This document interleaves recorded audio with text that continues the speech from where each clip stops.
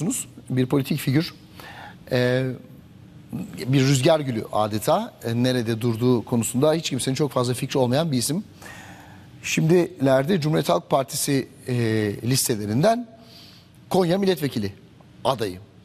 E, fakat e, bu isim Abdülatif Şener ismi Konya'da kapısını çaldığı esnaftan o isterken geçmişe yaşadığı savrulmalar nedeniyle çok zor zamanlar yaşıyor.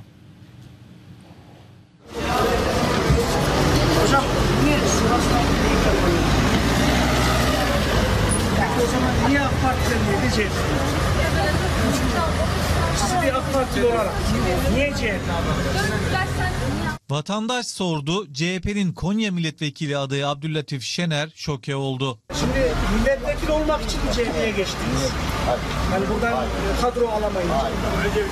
CHP'den Konya milletvekili birinci sıra adayı olan Abdüllatif Şener eski bir AK Partiliydi. Konya'daki gezisinde bir esnaf Şener'in CHP'den aday olmasına tepki gösterdi. Hocam niye Sivas'tan ilk yapalım? Yani o zaman niye AK Parti'den niye?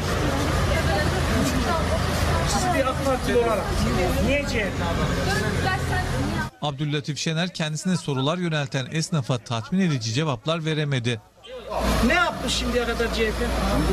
Şimdiye kadar CHP'nin hangi yaptı? Camileri e, ağır yapmıştı. Bunları da söyleyelim.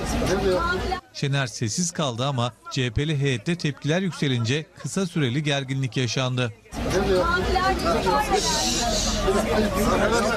Yapmadım.